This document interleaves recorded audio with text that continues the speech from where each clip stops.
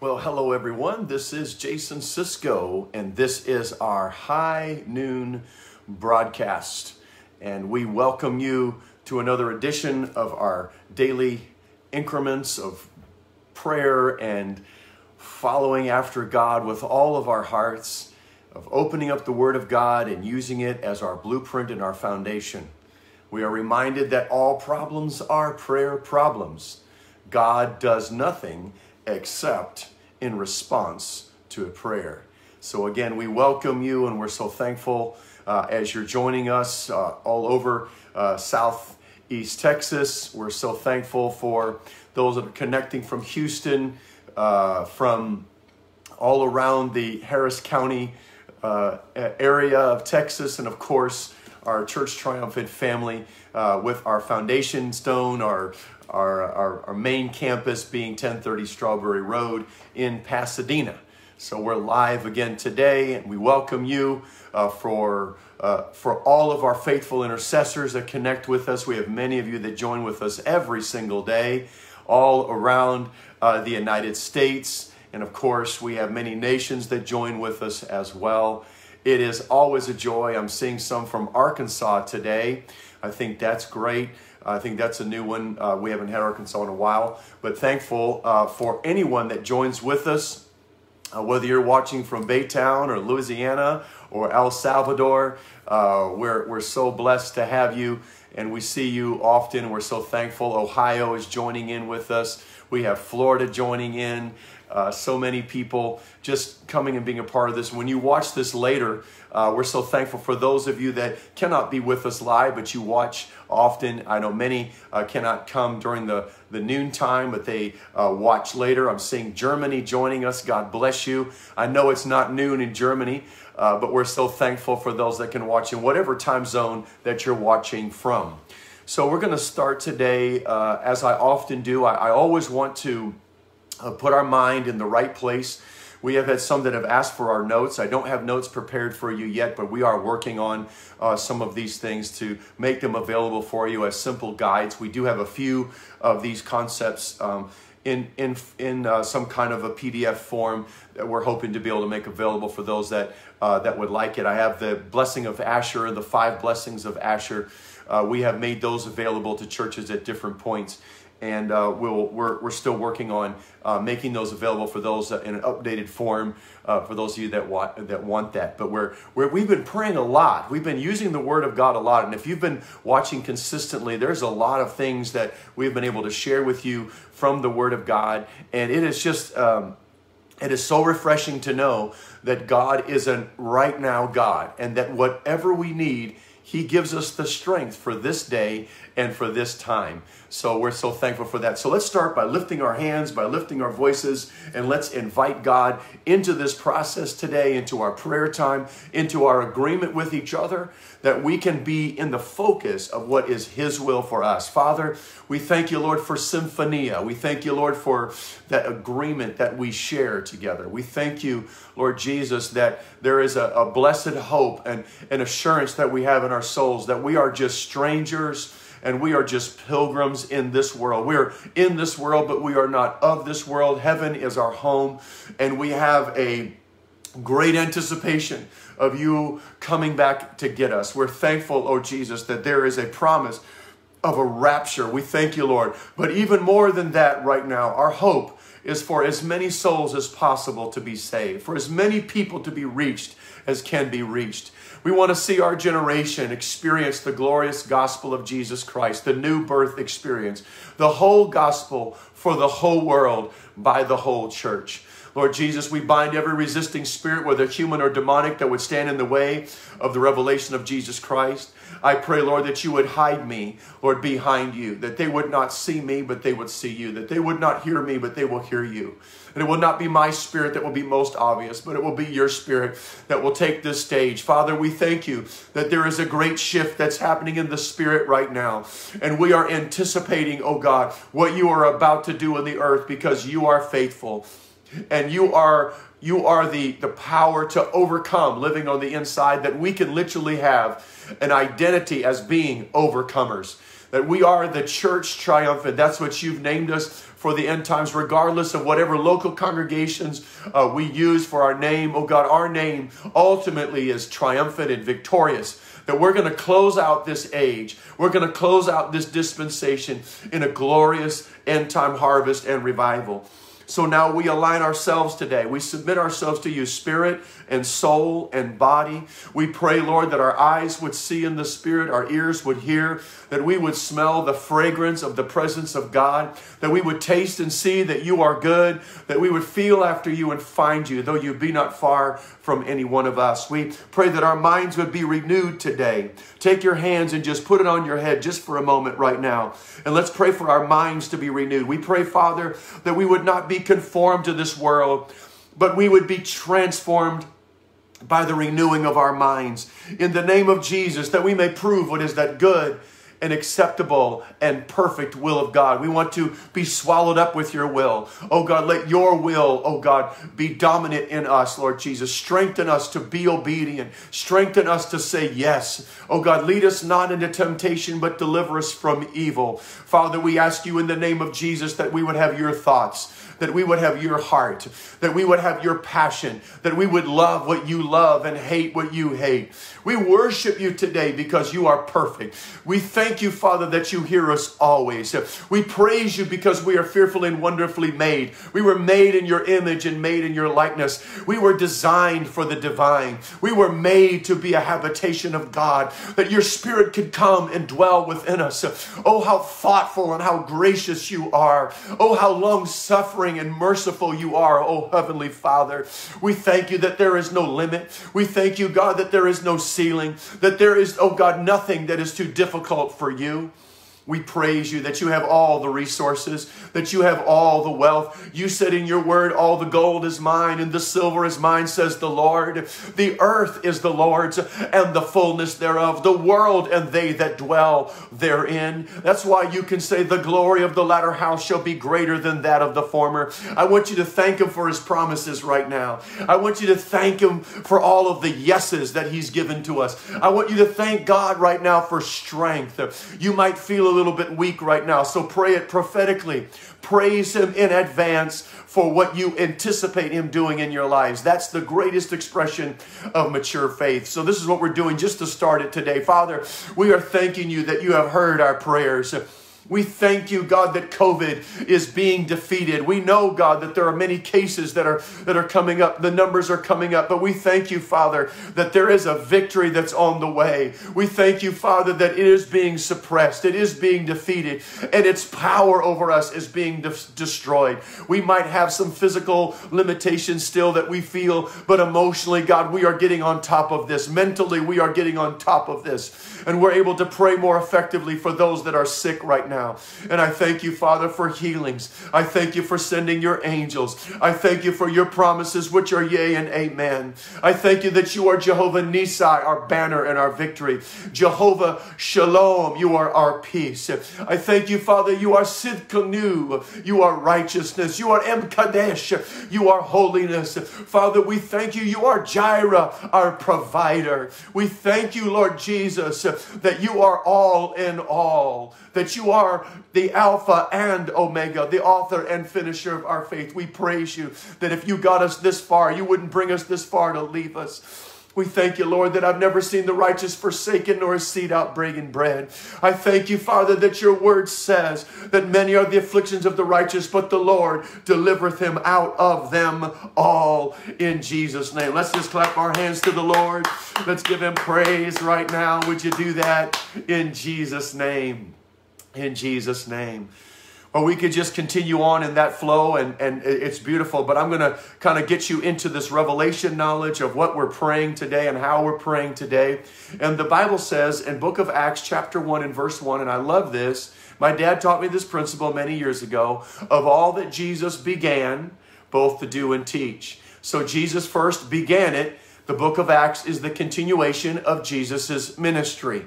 That's what we're doing. There's no amen at the end of the book of Acts. So, therefore, that means that the church history is still being written. Will our names be in that book? Will our names be written in that history? So some like to read history, others like to make history. I believe that it is the will of God for us as a movement, for us to be able to experience uh, God doing things in our lifetime that are worth writing down. They're worth writing down. Uh, just on a side note, I do recommend that you have your own prayer journal of some kind where you can write down your promises, write down the prophetic words, and um, it's always very helpful to help process. Whenever you receive a word from God, you take that back into the presence of God and then you recite it again. And this is what David did when Nathan told him he couldn't build the house, but God would build him a house.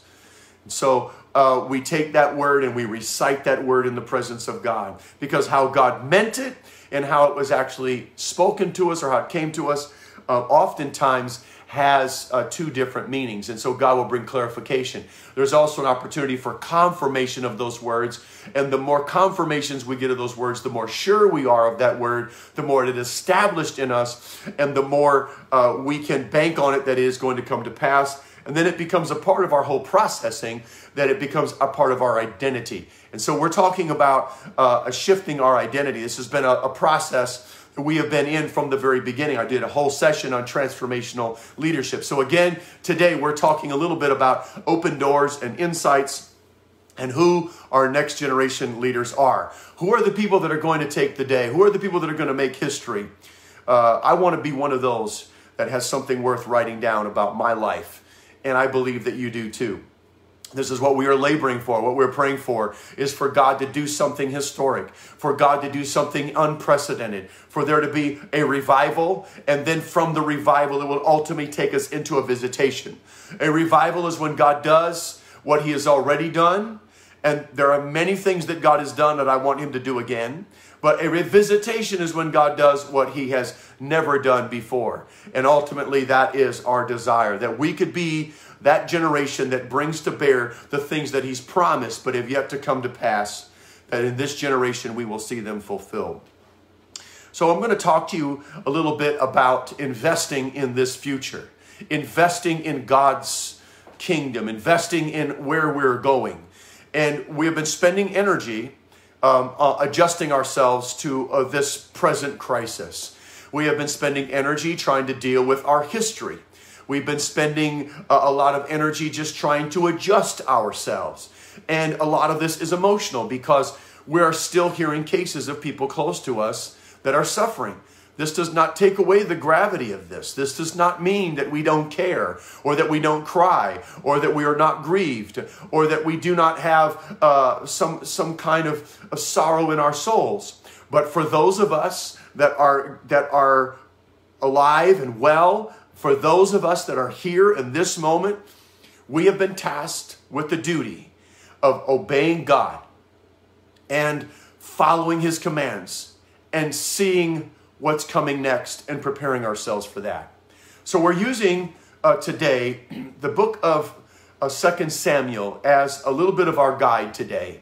2 Samuel uh, chapter 1 gives us uh, some insights about a transition that has been happening. With our people, I've been doing on Sundays a series called Strategies for a Total Recovery. And what God gave me is a is basically a blueprint for recovery. There are 12 different strategies that we use and we have talked about a few of those strategies every week as we've done the series. So, I have kind of brought them down into a simple outline, but in in second uh, in 2 Samuel, we'll, we see the transition is finally being made. One of the last steps of, the, of a total recovery, when God told David, You've gone through Ziklag, you've lost everything, all of these emotions, he's spending emotion trying to process what's happened to him. He's exhausted, and then he loses everything, and then God gives him a word and says, You can take it all back you will without fail recover all. And we have been using this as a prophetic word for these days that we live in right now. How many believe it's God's will for us to pursue? It's God's will to overtake our enemy and to take back everything that He's stolen from us. But we also know that something else happened he got five times more of what he lost. So I want you to stop right now. I want you to thank the Lord that we have been in a process, and some of us, it's we're in different stages of the process. Some of you are still in the overcoming the grief state. Some of you are still in just recovering of your thought processes and just learning to hear God. Some of you might already be at the brook where you're being refreshed. Others are already in pursuit, and some are in the process of already recalibrating all that God is taking back into your life. And so I want you to understand there's, there's a whole process. And so when you see it in one condensed form as you read it, we forget that there's days that are that are uh, that are written into that history, and and that there's a lot of adjustment that's made mentally and emotionally uh, during that history that is being made.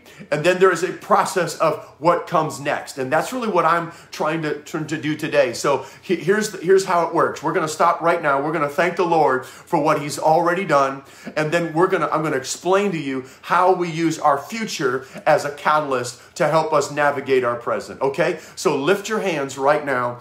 1 Samuel 30 is what we've been looking at, and now we're going to 2 Samuel uh, 1 and 2. Father, we just thank you right now that you have helped us, oh God. Many of us, oh God, are at the still in the stage of shock Many people are still in the place, Lord Jesus, of loss, of pain and sorrow. Some have just lost people close to them. Some have just lost their job. Some are still reeling from all of the, the, the, the barriers that, that of the loss of contact. And we're, we're still alone and we're isolated and we're quiet.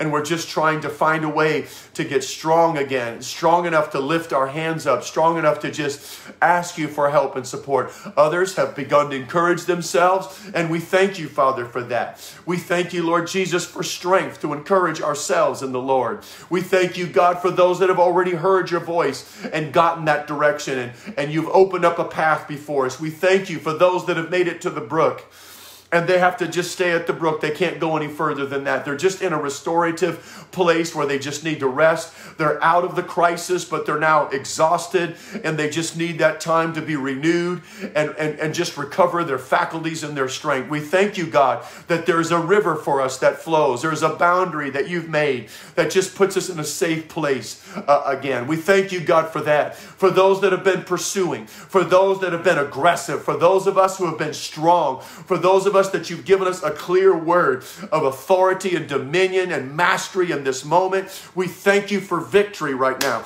If you have some victory already in your life, I want you to thank the Lord for victory. If you're already experiencing some of God's favor in your life, we just say, Thank you, Lord. Thank you, Lord, for that. In Jesus' name, we praise the name of the Lord. We rejoice in the blessings and the goodness of our God.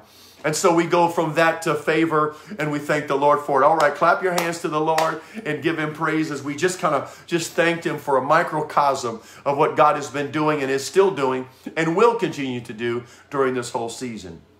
Now, one of the things that happened right at the end of, of, of 1 Samuel, and we'll just go back a couple chapters just for those that are catching up.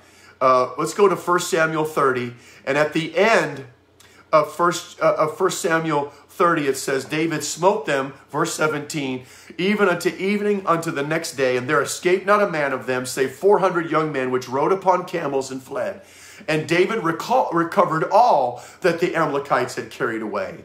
There was, verse 19, there was nothing lacking to them, neither small nor great, neither sons nor daughters, neither spoil nor anything that had been taken to them. David recovered all. This is the will of God. Whatever's been taken, God, we're going to take it back in Jesus' name. And then verse 20 says, And David took all the flocks and the herds which they drave before those other cattle and said this is david's spoil so what meant what it meant was not only did they recover everything but they also gained ground and they got more spoil from that victory if you can win in this desert if you and i can use our faith and if we can hold on to the promise of God, if we can process our past, get fully present in this moment, and then hear what God is saying to us, He is telling us that somewhere in this process, we know that Saul and his army was dying on a mountain.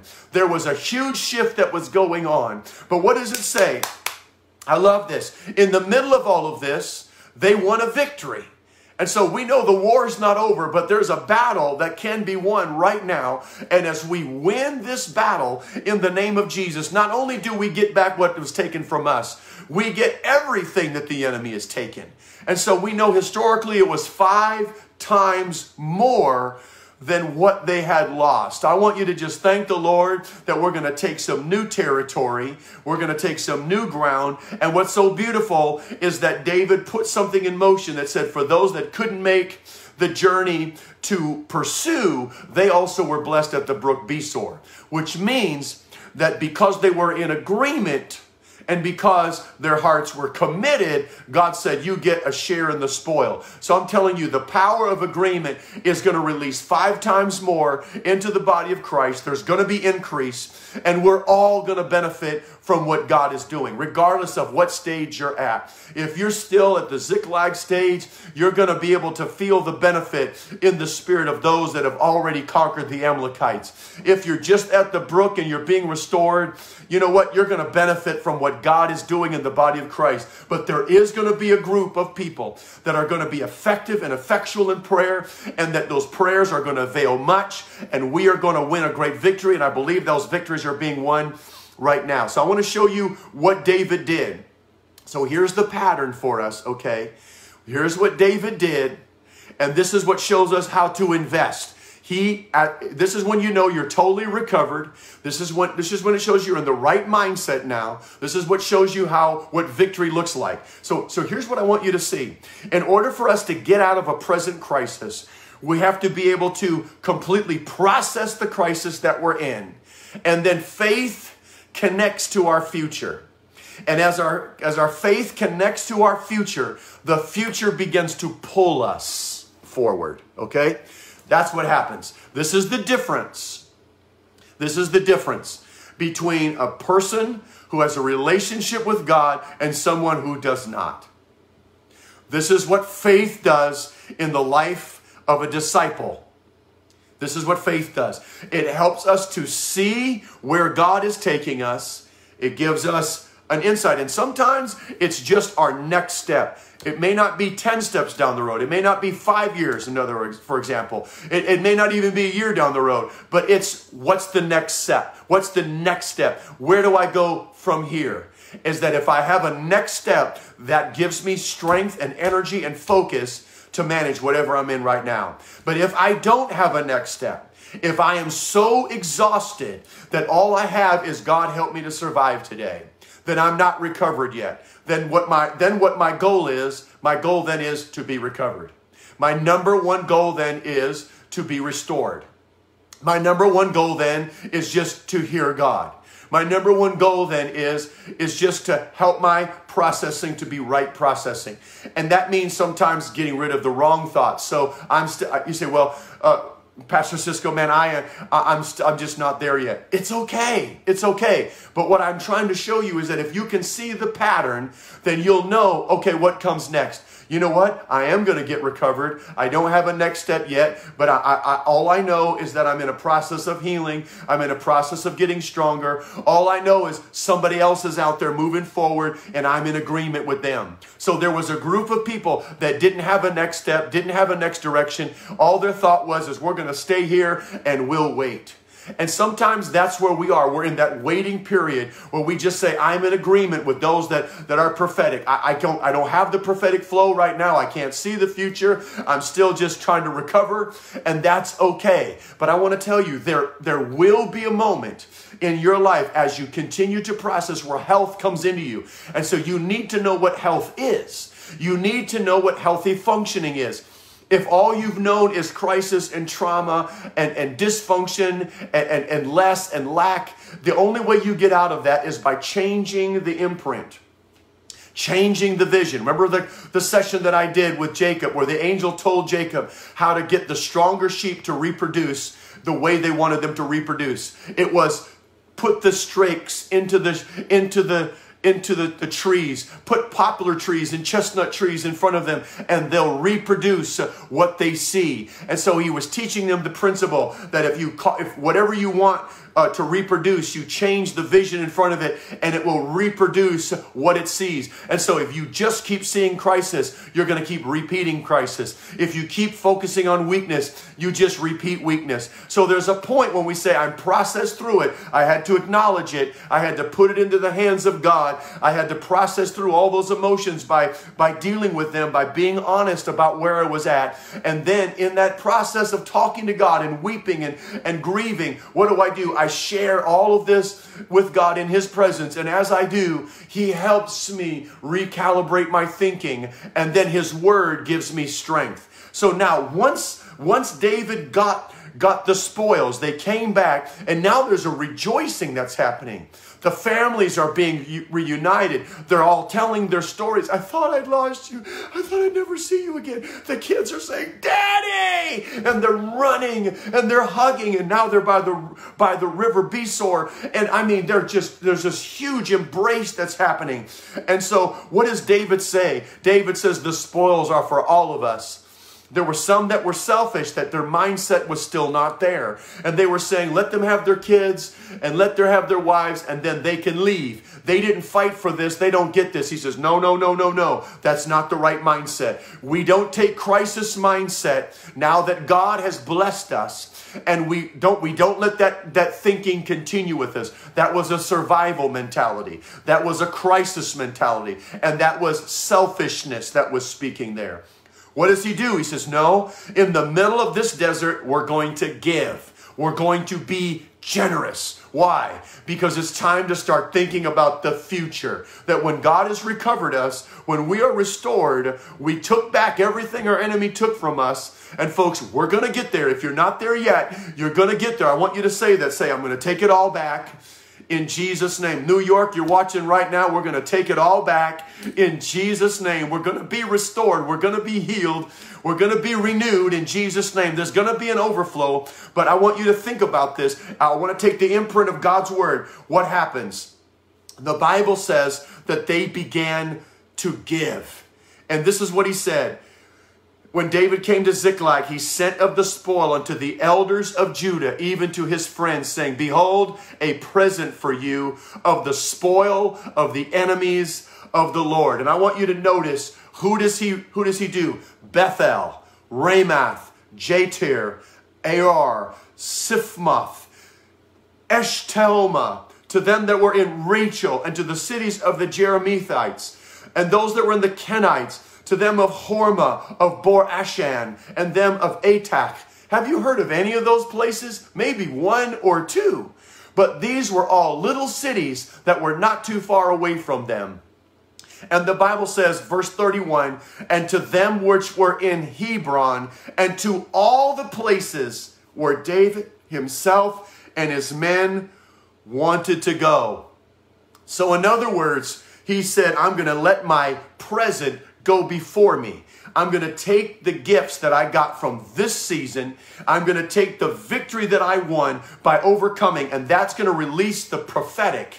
It's going to unlock my future. Now, this was a principle that David used his entire life. I want you to see this. This is a lifestyle principle, and it ties directly into the identity of Judah as people of praise, and it also directly ties into the anointing for the future and the leadership that God had put in him. I want to show you this. I'm going to show you this. Now, I think every person who has ever opened a Bible knows the story of David and Goliath. But most people miss what happens next. They know that David killed Goliath. And we know mostly that he cut off his head. Usually with Sunday school, we just say the rock hit him in the head and he fell down and he won the victory. Yay! But you know, when you read the full version, it says he cut the head off. And when he visits Saul and stands before Saul, after they won the victory, he's still holding on to the head, the gnarly big 20 pound head of Goliath. He's holding on to that head. He is keeping what he took from that battle. This is evidence. I killed this giant. I am carrying I am carrying the head of my enemy. Now, what does he do with the head? He did something with, with, with Goliath's armor, and I'll show you that in a minute. But then he also did something with his head. He took the head of Goliath and went to Jerusalem. And he took that head and rolled it into down the street in Jerusalem, a place that had never been conquered, a city that had never been conquered, and he rolled the head of Goliath into that city, and he was saying, I'm going to come back one day and I'm going to take this city. I beat the giant today and I'm going to take this fortress in the future. What he was doing was literally putting a seed of, of future victories in place. He was investing. So when you win a victory, you take the head of your enemy and then you invest that into your future because you know where David would ultimately rule from? He would ultimately rule from the city of Jerusalem. He couldn't do it that day, but he was saying, I'm strong enough to be a Goliath Today, I did that by the power of God. Everyone thought it was not possible for me to kill that giant, but by God's help and in his name, I killed a giant. And guess what, Jerusalem? I'm going to tell you, Joshua couldn't conquer you, and all the generations from Joshua didn't conquer you, but I'll be back one day because I got the anointing of a king on me. And when I'm a king, I'm bringing my army and I'm going to conquer this city. So if you can kill your giant now, you can take your city then. Woo! I want you to thank the Lord right now. I want you to thank Him for the victory that's coming in your life. In every victory is the seed for the next victory. Lift your hands right now and thank Him. Father, I thank you that in every victory that we win, there is the seed of our future victory. If we will invest it, if we will hold on to it, in Jesus' name, in Jesus' name in Jesus' name. Say victory to victory. Everyone say it. Victory to victory. Say that is the will of God. Amen. Now, the second thing he did is he took the armor, and instead of taking the armor into his own tent, what did he do? He put it in the house of the Lord. And he said, This is Goliath's sword, this is Goliath's armor, and we're bringing this into God's house as a praise. He didn't take it home as his own trophy. Notice, he didn't take the head home and he didn't take the armor home. He took the head and he invested it right now because it's only good for a day. That head's only good for it. It's going to shrivel up. It's going to, it's going to stink. But he says, I want everyone to feel the impact. It, the momentum is still moving. The victory is ringing out. And I want the rest of our enemies to know we beat the Philistines today. You Jebusites, we're going we're going to beat you tomorrow. Here's the head. Here's the proof. What are you going to do with that? Okay. Then he takes the armor. And instead of taking the armor home and showing his dad or showing his family or putting it up in the den, you know, and saying, there's Goliath's sword. No, what does he do? He takes it and brings it into the house of God. And he says, Thank you, God, for this victory. I want every time people come into the house of God to see Goliath's sword, how big that sword was. That's a lasting praise.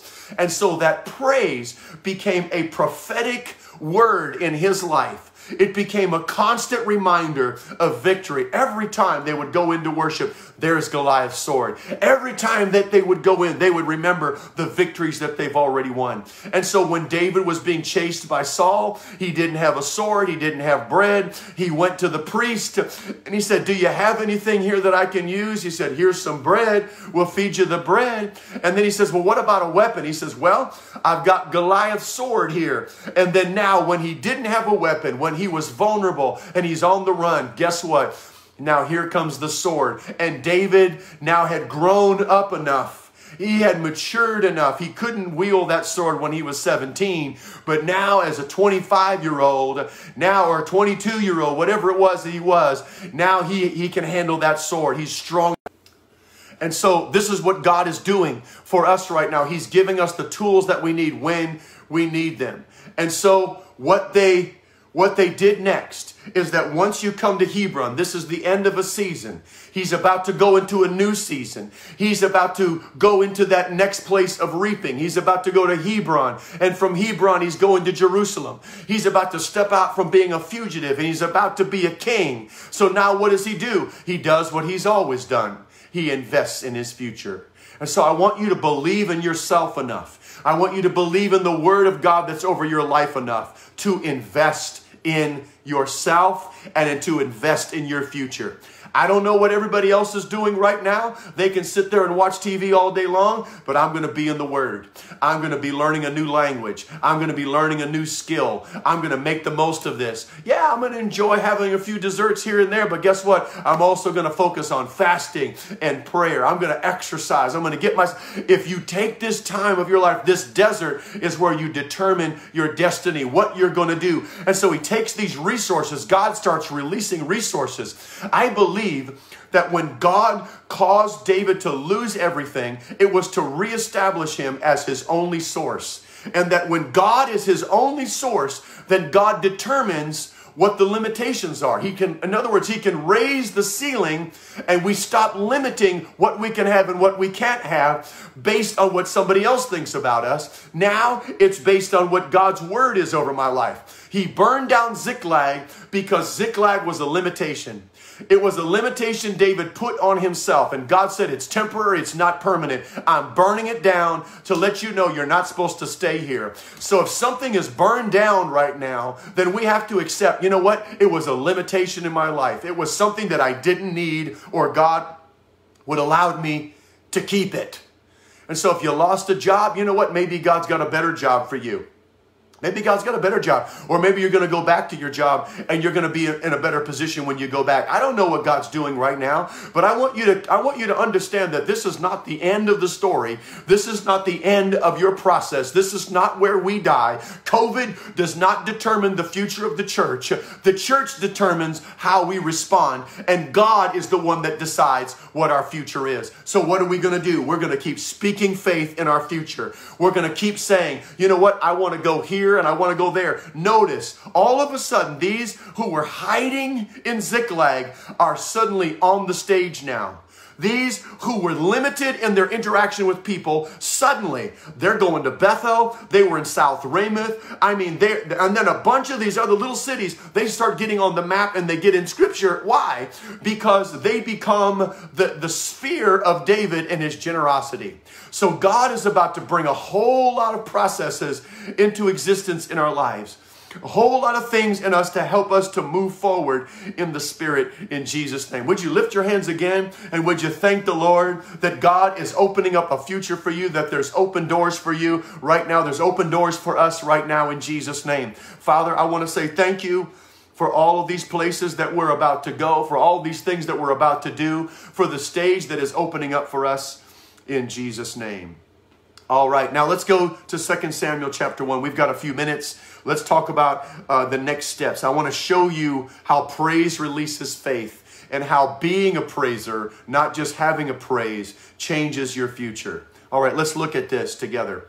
Who is going to lead is determined by our response. Now, so 2 Samuel chapter, chapter 1, now it came to pass after the death of Saul, when David was returned from the slaughter of the Amalekites, that David had abode two days in Ziklag.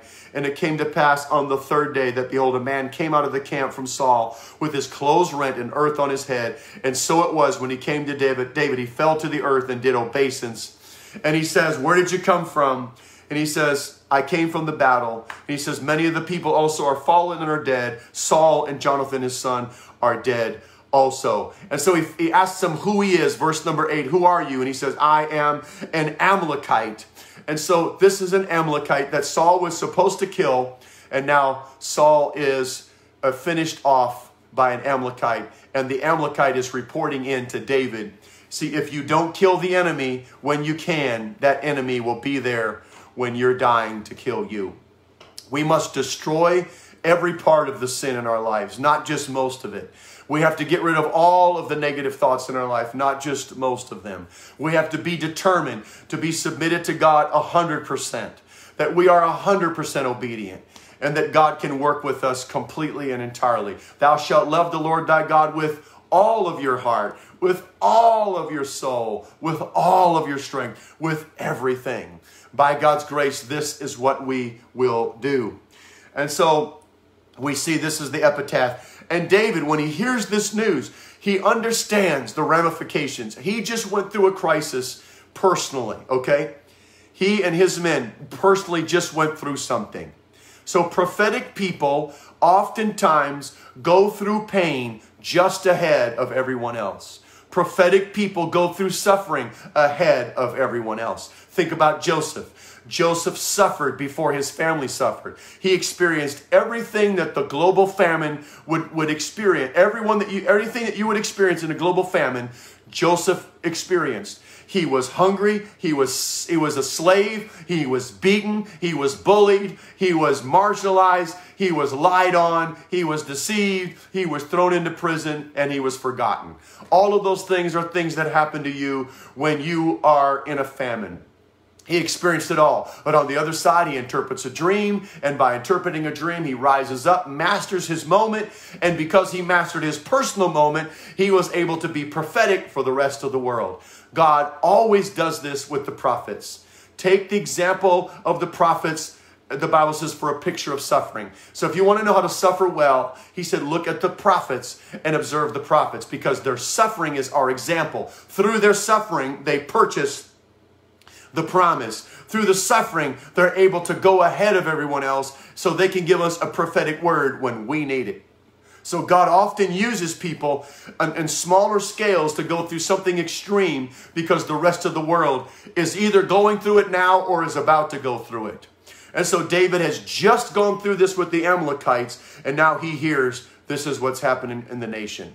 So, folks, before we can lead the nation, we have to lead ourselves, lead our families, lead our groups. We have to be faithful in the little things before we can be faithful in much. So, if we're going to lead effectively, that means that we have to learn to thrive in that desert and we have to take back what the enemy has stolen from us. We have to hear God clearly and be obedient. And then, as we come out, of this, there is a there is an understanding and a revelation that now postures us, and he's in a position of resources, he's in a position of generosity, and he's ready to help, and he's ready to heal. And now they come to him and they say, Saul is dead. The nation is grieving. They're going through a massive void right now. And there's a huge shift. And what's happening is this anointing on David is suddenly rising up in him. And the first thing he says is, if you thought this was good news, that Saul is dead, you thought wrong. Not in this camp.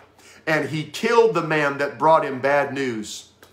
He killed the man that thought that he was being political and positioning himself to get a reward. You're not getting any reward for this, he said. This is your reward his blood be on your own head.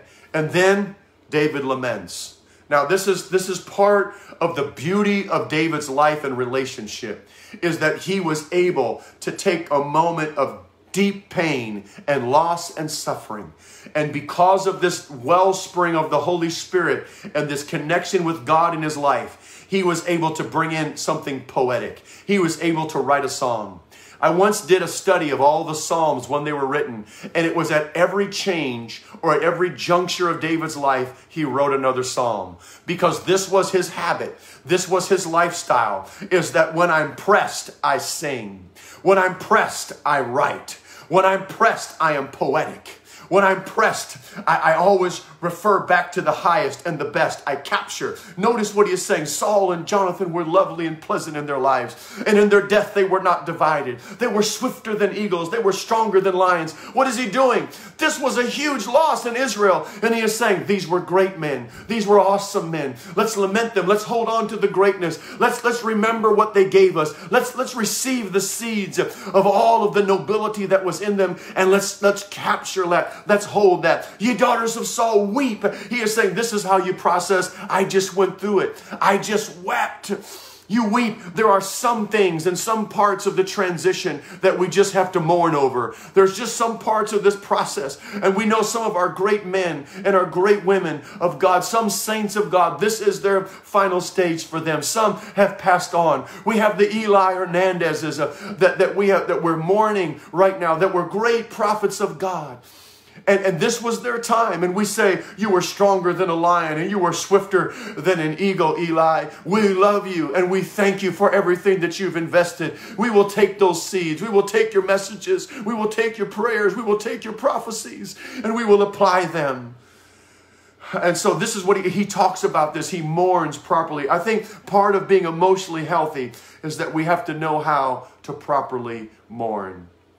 But once the mourning is finished, 2 Samuel chapter 2, what do we see? And it came to pass after this. After what? After writing the song, after mourning, after understanding what's happened, after doing what he can to speak life into all of the void, what happens?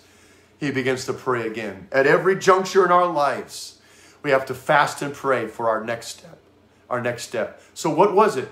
David's David's immediate direction, invest in your future. Invest in your future. Invest in your future. Be generous to people. And he's and he's being generous to people.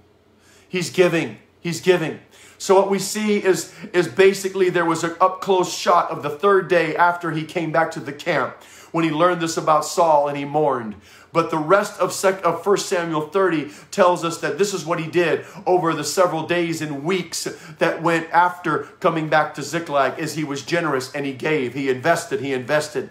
And the Bible says it came to pass after this. There was a season of investing. And then it came to pass after this that David inquired of the Lord and said, Is there something I'm supposed to do? He was waiting. There was a shift in himself. And I'm going to ask you, for those of you that are starting to feel the shift right now, you start investing in that future, you start asking God, what am I supposed to do next? Is there a change? What am I where am I supposed to focus? This is what we do right now. When you are healthy, emotionally healthy, mentally clear, when you're physically strong, and now you have resources that God is flowing into your life, there is a resource of the energy of life. There is a resource of, of His Spirit. There is the anointing of God. There is the listening and the hearing, our capacity to hear God. There's the anointing. There are resources of people. There are resources of skill, and there are finances. All of these things start flowing because there's something massive that's happening. There's this huge shift that's going on. And I want you to understand that this thing is so massive, it's so big that we cannot quite get our minds all around it. So it has to take incremental shifts in our life, incremental steps. It's like the massive ships that are going up, uh, to, that are changing from one waterway to another. They'll go through a lock.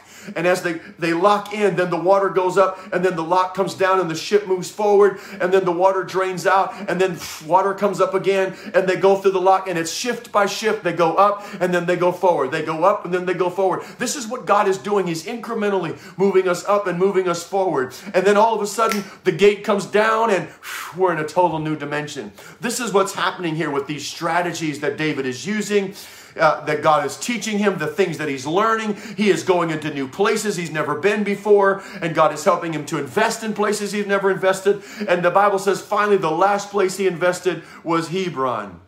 And it came to pass as he's praying, Shall I go up to any of the cities in Judah? And the Lord said, Yep, it's time to leave Ziklag. It's time to move out of this city that's been burned down. And it's time to move forward into your destiny. It's time to move into a new season. It's time to make the shift. Are you feeling it right now? Can you sense it in the Holy Ghost right now? Lift your hands to the Lord. Give him praise right now.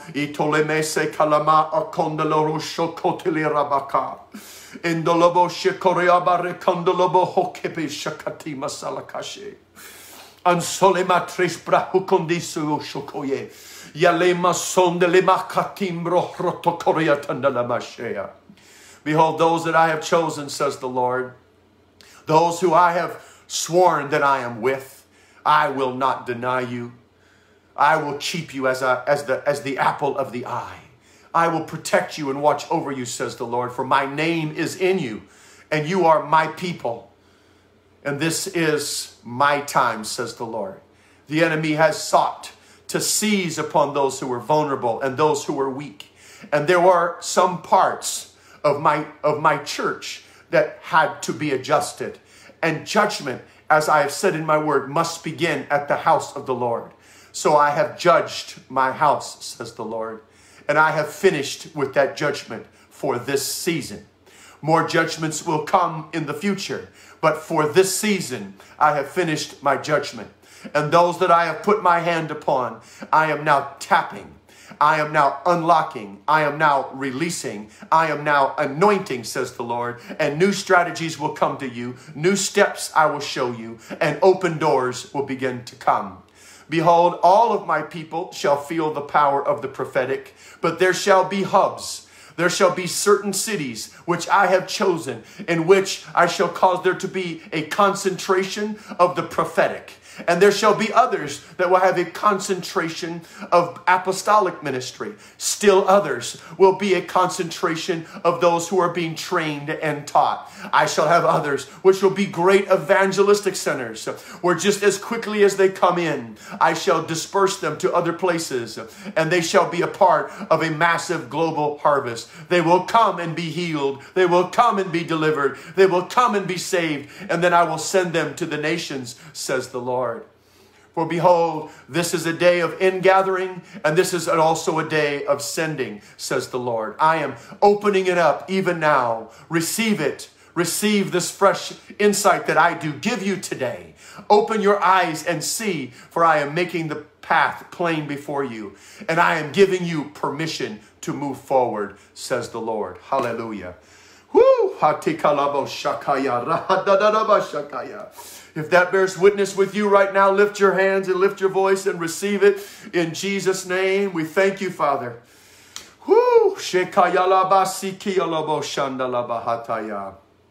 Thank you, Lord. Thank you, Lord. Thank you, Lord. Why don't you just clap your hands right where you are in Jesus' name? I want you to just say, I receive it.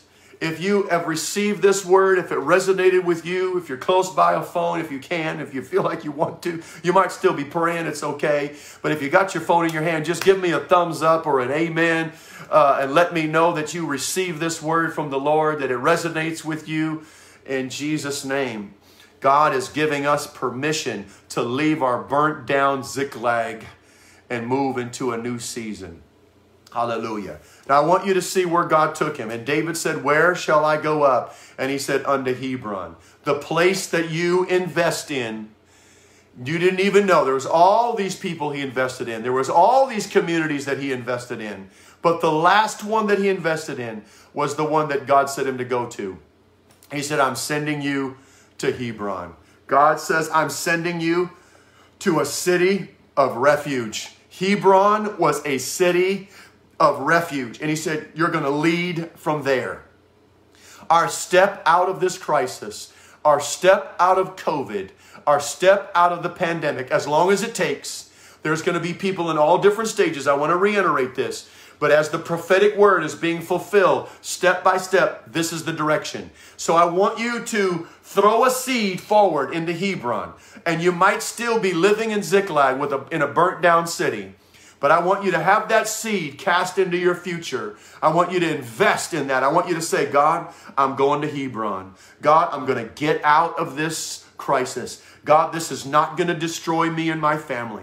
I thank you, Father. I'm taking it all back. I'm going to walk out of here blessed. I don't know how you're going to do it. I just know you're going to do it. I remember I went through a season, and I've talked about this many times, but I want to talk about the end of it so that you can see some principles about, about the story. But right as I was entering into it, God spoke to me, said, This is a season of pain and loss and suffering. And as he told me that, I knew, I knew that it was not going away anytime soon. It was going to be a protracted season. For us, it was two and a half years. It was a two and a half year uh, season for us where I wept every day. My wife, my wife wept every day. Uh, but we got very, very close to the Lord during that time. And at the end of that season, as God was transitioning us out, we were we were just so raw. We had lost so much, and yet God had sustained us. He had protected us, taken care of us. We didn't die. And actually, emotionally, we actually were, were, perfected a lot. We had grown a lot because the Bible says He uses suffering to perfect us. He uses it to, to establish us and to settle us and to make us perfect, according to First uh, Peter um, there, there, there, there's a trial that tries us, and for a little while, he says, You're in this trial. When it's compared to your whole life, it's just a little while. But while you're in it, it's gruesome every day. But God is doing deep works of change in us. When I came to the end, I, I moved back to Texas from St. Louis, and we came to a little town called Rockwall, a beautiful little town. And I remember being in a little rented house that we had. We didn't buy, we just rented a little house. And it was just by favor that we were even in this house. And I was standing there and I said, God, I've lost a lot. I've lost years, years of savings, years of investing. uh, I, my partners, my, my ministry. I've lost so much during this time.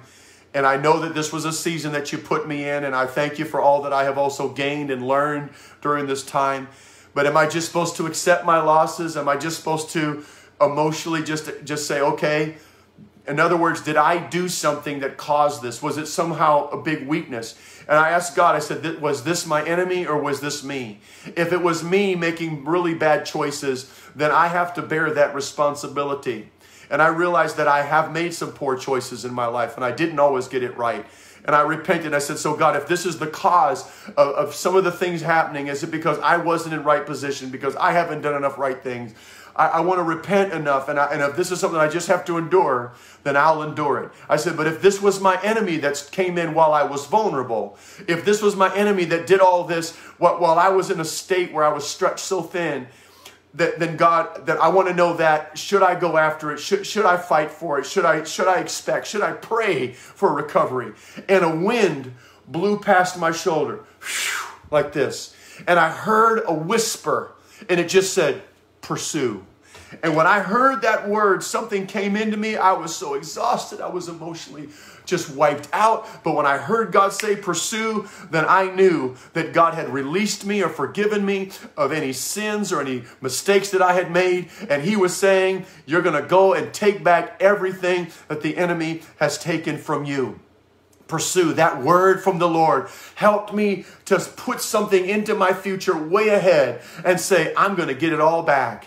I'm going to take it all back. I'm, I'm going to rule. I'm going to reign. I'm going to lead. I'm going to, everything that you said I was going to be, God, it's still on. Everything that you promised me, it's still on. And I want you to know this is what David did when he encouraged himself in the Lord. He said, I'm still anointed. I still have a promise over my life. And so when he's investing in Hebron, guess what? This is the overflow now of what God has done. This is the, this is the principle of faith at work in his life. And now what's going on? Now what's going on? Here he is in Hebron, and suddenly he's a king. Wow. He went from Ziklag being the highest possibility for his life to now Hebron being an open door for the future. And I want you to see right now that maybe, just maybe, the church had been so limited by its thinking and limited by the way it was bound inside of its structure of 10 o'clock on Sunday and 7 o'clock on Wednesday, and we meet in a building and then we go about our lives. Maybe we were able to function inside of that for a season and for a time, but God was saying there's something bigger than that that I want to do. I want to give you a global harvest, and you need to be daily in my presence, not just weekly or just two times a week. You don't need to just be in a building somewhere. You also need to be in your homes and out in the parks and walking down the streets. And, and you need to be singing and you need to be rejoicing and you need to be on Facebook and YouTube and Instagram and wherever else that you can broadcast. You need to broadcast and get your Zoom fellowships and get your online texting and your, and your websites going and, and get your call centers going and your prayer lines going and, and reach out and touch people and make a difference and get your signs on your card and do Operation Spread Hope. All of this while we were suffering, all of this while we don't know what's happening next, all of this while the economy is going down, all of a sudden the church is going up and people are open to God and people are getting the Holy Ghost. A great testimony. Brother Jose Herrera told me this the other day. He said, You were doing a broadcast, Pastor. So I thought, I'll do my own little broadcast and I'll tell what God is saying to me and I'll pray with people online. And he sent me a text to, that one of the people that connected with him on his Facebook page got the Holy Ghost.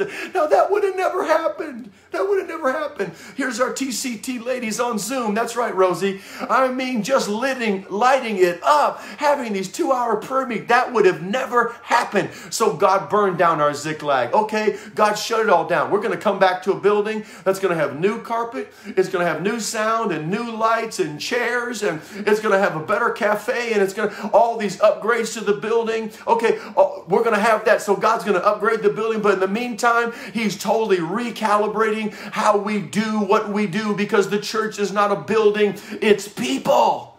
And so we're investing, we're investing, we're investing, we're investing. And God is saying, I'm going to use it. This pandemic is going to end, but the church is going to go forward into the greatest revival, into the greatest harvest that we've ever seen. And we're going to lead it. The people that make the adjustments, that are the prophetic praisers, are going to lead it. I want you to notice that, that this was the result of this was the result of prayer. This was the result of the prophetic, but this is also the result of David's attitude of praise and worship. Who is Judah? Judah equals praise. Thank God. So tomorrow I'm going to do another session about uh, when Judah takes the lead, and we'll share that with you. And we're going to get into a little bit deeper uh, foundation, the root structure of David, going all the way back to the patriarch. We'll go back and talk about that tomorrow. But today I want you to see this that the leaders are the praisers. When you can start praising, that's when you know something has shifted in your life. When your default, notice David, David's told about Saul, his default, oh, he starts to weep and then he starts to sing. I'll never forget a great songwriter, great, great songwriter uh, that I had a chance to know and be up close with. He, he wrote, Just to walk with him means everything to me. He also wrote, Day stars shine down on me. Steve Richardson, let your love flow through me in the night. Lead me, Lord, I follow everywhere you want me to go. Oh, let your word speak to me. Show me things I've never seen before. Before, oh man, I was. He would sing that. We would weep. I got to be really close with him. He was a part of a team that I was on, and we traveled the country uh, doing uh, singles conferences uh, many, many years ago. And he was the main. He was one of the main people that played, and I was one of the day speakers. I was part of the team uh, with Brother Stone King. I did this for about four years. I would do about four or five conferences a year, and he'd be there. And it, it was it was so special just to hear him and to be around him. He was single, never married. He his his one woman in his life was his mom and he would go home. He would take the little bottles from the hotel and bring the little shampoo bottles. His mom didn't have a whole lot of money, and he'd bring her the shampoo bottles. And he said, "I'm bringing these home for my mom." It was just just really sweet.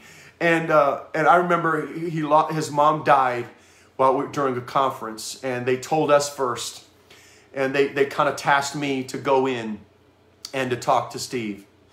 And so me and the pastor that we were with, we went in and um, we walked in his hotel room and said, Steve, we're, we're so sorry. We have to tell you this today, but your mom passed this morning. And the tears came down his face. He began to weep. And the first words out of his mouth was, I will bless the Lord at all times. His praise shall continually be in my mouth. I will bless the Lord at all times. Bless the Lord, O my soul, and forget not all his benefits. Bless the Lord. Bless his holy name. He started quoting scriptures and he started praising. And I thought, this is the man that can write a song like this. Is that when he's told that the most important person in his life is gone, the first thing he did was not charge God foolishly, but to praise. And somehow, with all of the loss, and with all the pain and all the trials and all the testing that we're feeling right now. We have to make up our minds that we keep trusting God enough to praise Him. Father, I thank you. I thank you. I can bless your name today. I can praise your name today. The Lord giveth, and the Lord taketh away. Blessed be the name of the Lord. You work all things together for our good. Everything is for your purpose. We don't always understand, Lord, but we trust you. And we say, God, let our default be praise. Let our default, oh God, let it be to worship because we'll praise our way out of this pandemic. We will worship our way out of all of our weakness. We will exalt you, oh God, and you will inspire us. And I thank you, Father, in Jesus' name, for a future that is waiting to be decided. And I thank you for the leaders that you have chosen right now to emerge with a word, with a message, and to release all of the anointing that has been cultivated, cultivated in that desert, in that wilderness, in Jesus' name. We love you. God bless you. And we'll talk to you again tomorrow.